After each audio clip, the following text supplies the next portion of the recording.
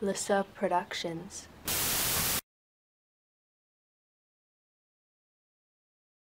Welcome to Electronics Lab.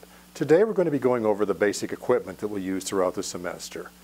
The first thing we'll talk about is the lab manual, which hopefully you brought with you. This has all of the labs that we'll be doing in here, and you pretty much can't do the labs without these. It also has a number of appendices at the back. One of these describes how components are labeled. Another one tells you about the proto board, tell you about doing fitting for data, and also there's an appendix that gives a sample of what we expect for a lab report. Another important thing, which you should have picked up on the way in, is your lab kit here. This plastic box, we'll open it up. It has various useful things in it. Set it down here. So perhaps the most useful thing in here is the proto board, which is the thing we'll be using to build circuits on. There are also some probes in here. I call these pokey probes. They let you measure voltages at various points on the circuit. We'll talk about those a little bit. And you probably also have a bunch of jumper cables in here, or jumper wires, which are basically little pieces of wire that are stripped at both ends that we use to make connections on the proto board. The other thing we have that you'll find at your lab station is the DC power supply. We'll talk about this in a minute, but this is how we're going to be providing voltage to the circuits, voltage and current. The last thing you should find at your lab station is a multimeter that allows us to measure voltage, current, and various other things.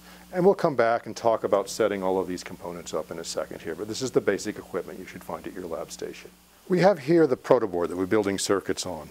If you look at this, you can see there's a number of places where we can connect wires to. Perhaps the most obvious are these round banana jacks here. There's three of them. Um, and they can basically, we were able to take a banana plug, plug it into there and connect that to some other supply. And, so we can bring voltage into this, this protoboard here. The other thing are the connections on the board itself. And we're going to start with these lines across the top here, which we refer to as buses.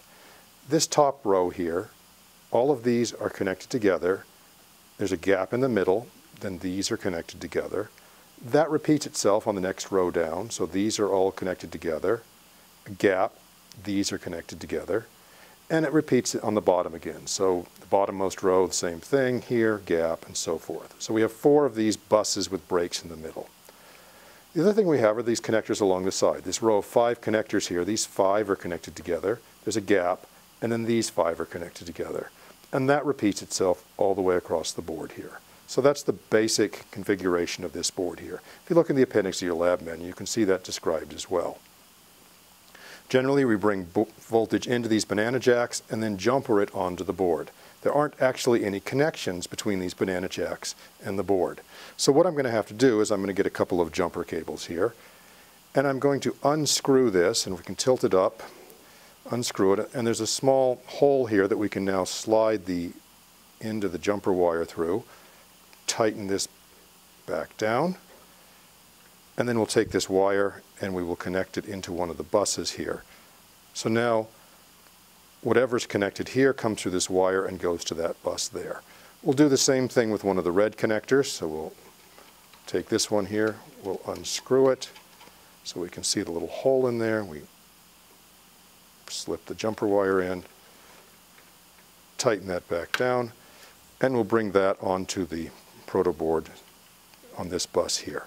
So now the black one is connected to this bus over here. The middle red one is connected to this bus here. And if we bring voltage in through a pair of banana plugs to these from some voltage supply, say we have the black one is grounded, the red one is plus 5 volts, then we'll have plus 5 volts here, and that will be grounded. So that's how we'll hook up this proto board here. And here we have the DC power supply that we're going to be using throughout this course. It's actually two DC power supplies, one with controls here, outputs here, the other with controls here and outputs here.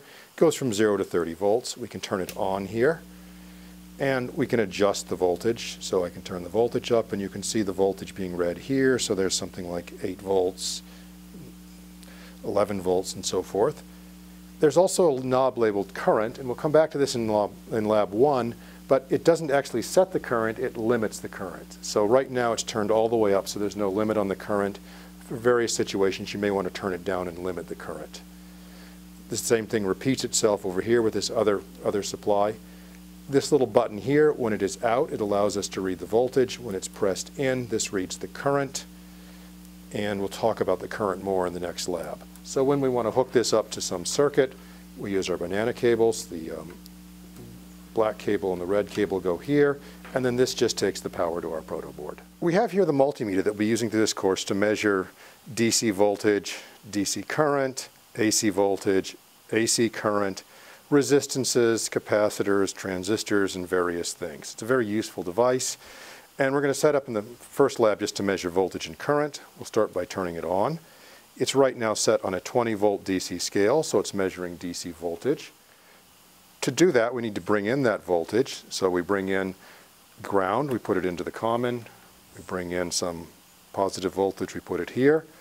And as that voltage is adjusted, you can see we start reading the voltage on the meter there. There's 4.4 volts, 5.6 volts, and so forth. So we can read the DC voltage with that on this particular scale here.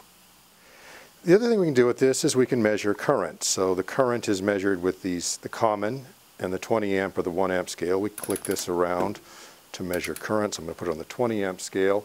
We bring the, the current in we want to measure. So the common, I'm going to start on the 20 amp scale here. We turn this on and we can see basically no current. I'll start turning up some voltage somewhere and we'll see a very small current here.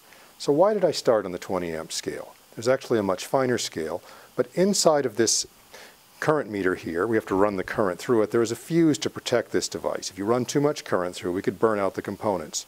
We don't want to do that. If we were to do that, unfortunately, we would have to turn it over, unscrew the back, pry the back off, pry the fuse out, and replace it. And that's not something we normally want to do. So we start everything on the 20 amp scale. And when we see that we don't have, we basically have no current reading on the 20 amp scale, then we shift this over to the amp and we go down to the next scale, which is 200 milliamps. And then as we start to turn up the current, you can see here we have a few milliamps of current. There's 4.2, 8 milliamps, 10 milliamps, and so forth.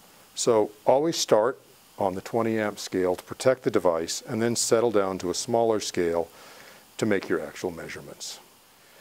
The other meter we have in this course is the so-called LCR meter, which allows us to measure very accurately the values of components.